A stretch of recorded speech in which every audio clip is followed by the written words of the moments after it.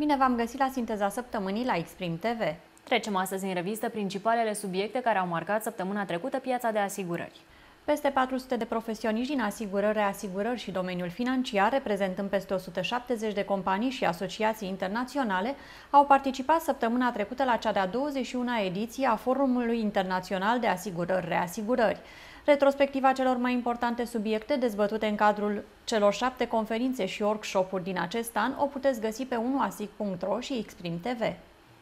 15 organizații din domeniul financiar, printre care APAPR, APA și UNSAR, au făcut un apel către guvern pentru a menține legislația sistemului de pensii administrate privat Pilon 2, atrăgând atenția cu privire la efectele negative asupra piețelor financiare și a veniturilor viitorilor pensionari. În sprijinul acestei solicitări aducem concluziile studiilor internaționale, rezultatele celor 10 ani de pilon 2 în România, precum și analizele pe care le-am realizat fiecare dintre noi cu privire la acest sistem. Predictibilitatea și stabilitatea legislativă sunt cruciale pentru succesul oricărui sistem de economisire pe termen lung, menit să asigure prosperitatea la pensia celor peste 7 milioane de români care contribuie la aceste fonduri, se arată în comunicatul transmis.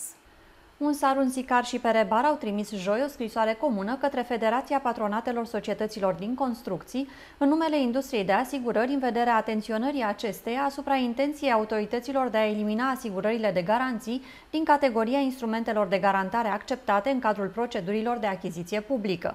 Măsura se regăsește în pachetul de simplificare a regilor privind achizițiile publice, inițiat de Ministerul Finanțelor Publice prin Agenția Națională pentru Achiziții Publice.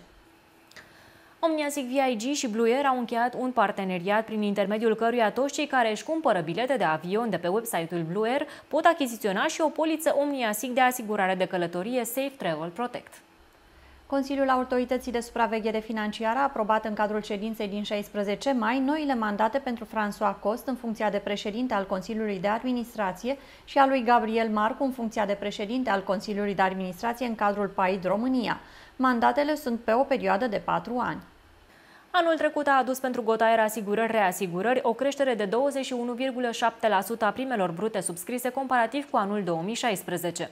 Creșterea provine din toate liniile de activitate, Casco înregistrând însă cel mai mare avans.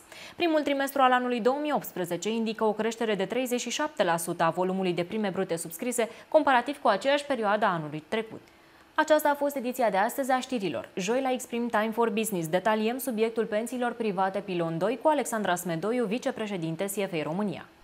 Până la următoarele informații din asigurări la Exprim TV, noi vă dorim o săptămână cât mai plăcută.